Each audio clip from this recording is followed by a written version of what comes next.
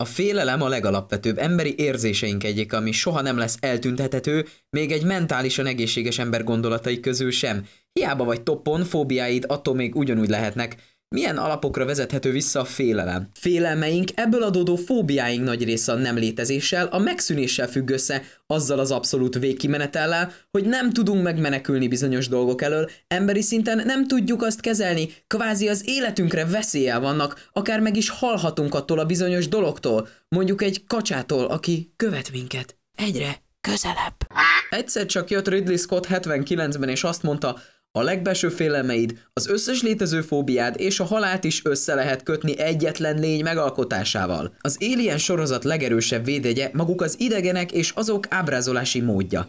Az a tökéletes organizmus, ami a távoli világok egyikében alakult ki, és semmiben sem hasonlít az emberi tulajdonságokra, nem ismeri a félelmet, valamint saját magát mások által tartja fent, felfalja és elpusztítja azokat, Miért annyira félelmetes az alien, mint maga a halál? Azért, mert az ember tudat alatti zsigeri undora, valamint fóbiái és félelmeiből eredő halál gondolata egyetlen nyálkás szörny alakjában képes elénk tárulni. Első, hasonlít egy nagy gusztustalan csápos rovarra, ami négy kézláp vergődik, a felborítjuk. Ezt a lényt te soha nem borított fel, max ő téged, miután a végtagjaidat megcserélgette a gerincet körül. Második, nyálkás. Nyúlik, nyomnyok, szörtyög, gusztustalanul taknyos, amihez magassága és erősség is párosul, böhömtestét egy nagy adag cupákos nyál körül. Harmadik, belét petézik, Ennél gyomorforgatóbbat kevésbé lehet elképzelni, hogy egy idegen organizmus a saját testedet használja arra, hogy tovább örökítse magát, ami a kisded születésekor önként és dalolva, nem éppen az anyai örömök harmóniájával spontán kirágja magát a gyomrodból,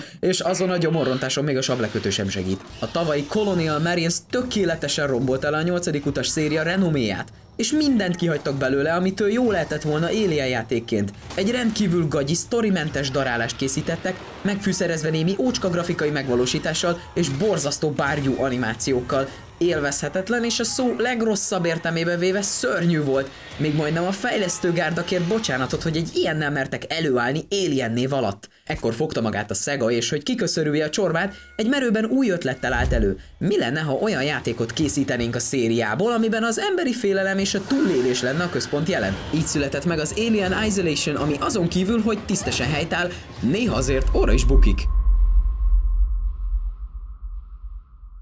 A történet szerint is már eleve a régi korok élienje, a nyolcadik utas hangulata tükröződik vissza, rögtön a főszereplő személyével. Ellen Ripley lányát, Amandát fogjuk irányítani a kaland során. Pontosan, kaland során, nem pedig akcióban, hiszen az egész játék során a spórolás, a kraftolás, a jó lesz ez még későbbre elvalapján kell majd gondoskodnunk biztonságunkról, ami eleve egy bizonytalanságot, elveszettséget ad a kezdetekkor, és ez nagyon működik az elején, egy ideig. Nem egy távoli személy nyakig páncélozott sisakja alatt kell szedni az ellent, hanem egy személyes történetet élhetünk át idegen és ember között. Az ismeretlentől, a guztustalantól, a veszélytől való tartás lesz minden újabb kinyitott ajtó alapja, ahol nem nem lőni kell elsőként, hanem lopakodni, elbújni, hallgatózni, figyelni, kiszemelni, hogyan mozog az ellenfél, majd tovább menni.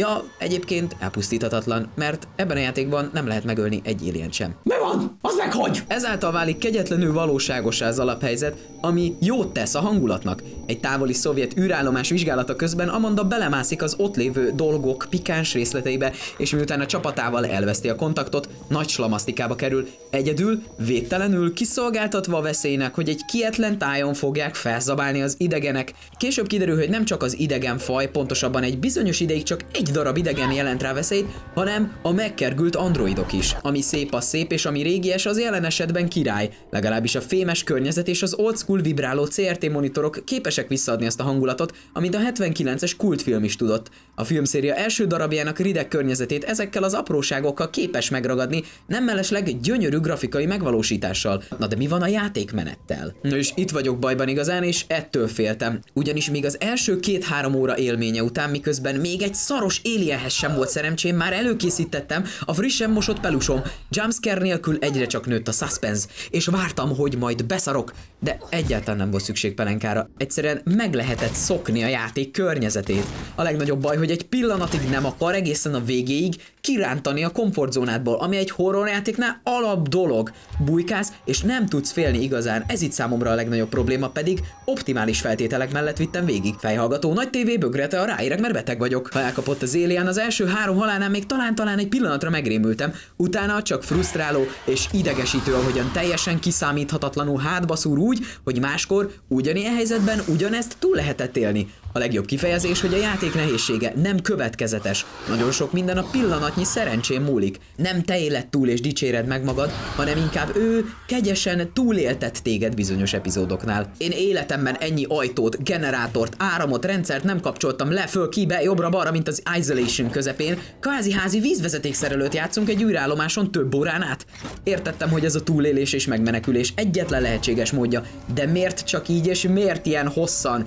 Iszonyat repetitív lesz a lefölrohangászás, és csak néha-néha hajlandó felpörögni az esemény, hogy egy kicsit elkezdjünk végre izgulni valamin, ugyanis a 12-13 óra szintiszta játékidőből 6 órát biztos, hogy lámpát kapcsolgattam. Az űrállomás bezártsága miatt egyre többször teljesen hasonló vagy ugyanazon a helyen fogunk megfordulni, ami fölött még szemet lehetne húgyni, de az, hogy az áramkörök leföl nyomogatásán és flexelésen kívül semmi érdemleges feladatot nem sikerült beleszuszakolni a játék központi tartalmába, na az már sokkal sokkal nagyobb baj. A játék legjobban sikerült része a hangok. Az Alien szörtyögése, az androidok vérfagyasztó protokoláris mondatai tényleg képesek nyomasztóvá tenni a környezetet, viszont ha egyszer meglátnak, nem tudsz elmenekülni előlük. Maximum két szobával arrébb futni, és akár 10 percet egy rohadt szekrénybe feküdni, míg meggondolja magát az ellenfél, hogy végre hajlandó arrébb császkálni. És itt jön az a mondat, amit nem gondoltam volna, hogy játékos karrierem során ki lehet mondani nem pozitívumként, de ebben a játékban probléma, hogy az ellenfél kiszámíthatatlan. Mi van?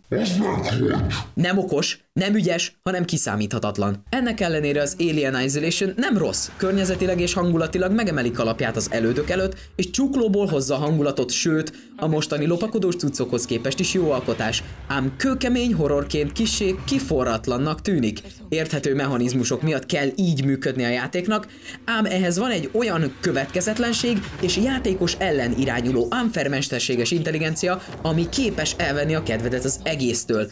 A sorozat rajongói mindenképpen próbálják ki, illetve akik könnyebben megijednek mondjuk bármitől, illetve azok is, akik baromi türelmesnek tartják magukat, ugyanis ehhez leginkább arra van szükség. A shooter rajongók pedig messziről kerüljék, ahogyan csak tudják, valamint azok is, akik nem hajlandóak kivárni az ellenfélre.